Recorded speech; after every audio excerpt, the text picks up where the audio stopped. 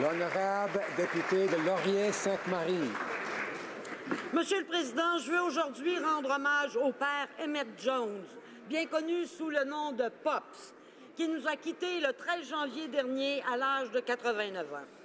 Né en 1928 de parents irlandais, il a grandi sur le plateau Mont-Royal dans ce qui est maintenant Laurier-Sainte-Marie.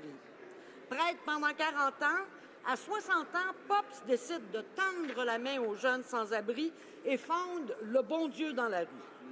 Il emprunte de l'argent pour s'acheter une roulotte et il sillonne les rues du centre-ville chaque nuit pour aider les jeunes sans-abri, leur permettre de manger et de se réchauffer, et ce, sans jamais les juger.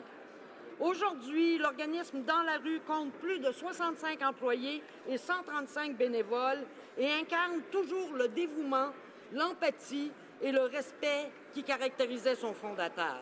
C'est une grande figure de solidarité et de compassion qui nous a quittés, un homme admirable que nous devons honorer en poursuivant son travail. Merci beaucoup. The honorable member for Carlton.